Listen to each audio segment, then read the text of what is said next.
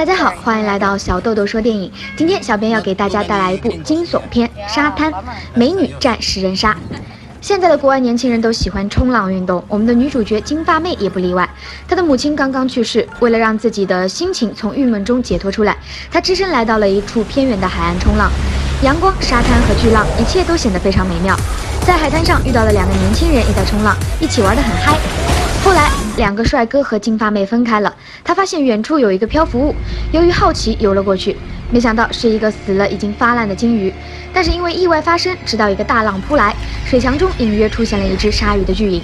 最糟糕的事情发生了，金发女被咬伤了，被逼无奈，附近没有可以避难的场所，只有那只臭烘烘的鲸鱼了。可是鲸鱼也不是长久之计，还被鲨鱼不断的攻击，导致翻船。后来发现不远处有一个礁石可以暂时避难，不断的为自己争取时间。到了礁石上，简单的给自己包扎了一下，坚强的煎熬过了一天，看到了希望。昨天那两个帅哥又来冲浪了，本以为得救了，没想到不幸的事情又发生了，双双归命。无奈之下，只好眼睁睁的看着他们离去。没想到事情一个接着一个，涨潮了。为了让自己活下去，不断的盘算着附近的安全点，一个漂浮物具体干啥的我也不清楚，算着自己的逃生计划。涨潮了，拼命的游了过去，惊心动魄的瞬间，差点被吃了，真的是替他捏把汗啊！由于漂浮物不稳定，被鲨鱼一次次的攻击，站不住了。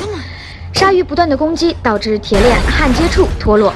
机智的金发女抓住了链子往下沉，鲨鱼一直追，一直追。金发女一避开，正好鲨鱼撞到了下面湖底的钢筋。后来精疲力尽的她已经不能自保了，幸运的是附近的居民救了她，得以存活。